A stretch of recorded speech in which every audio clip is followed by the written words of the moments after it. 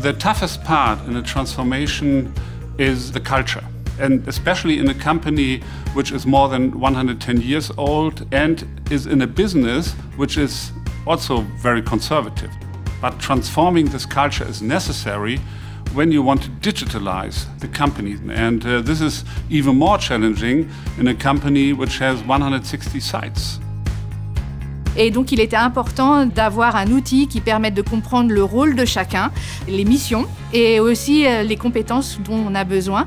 It's one major pillar of our strategy to drive digitalization externally but also internally. If you are not a digitized company internally, how do you digitize your industry? Digitalization means for us to work real fast, to get connected, to drive projects, and this is possible because of great tools offered by Microsoft 365. Digidesk is our SharePoint for the company as a whole, but also every country has its own Digidesk. So when we start in the morning, we all have the same news.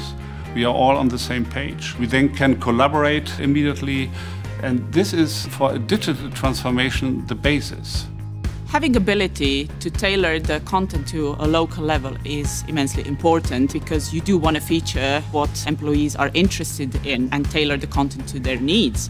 So for people in our warehouses, it's important for them to get the ability to see what's going on in the whole group. And with SharePoint, they're able to get in touch with people from the group, from their head office, from headquarters or the countries.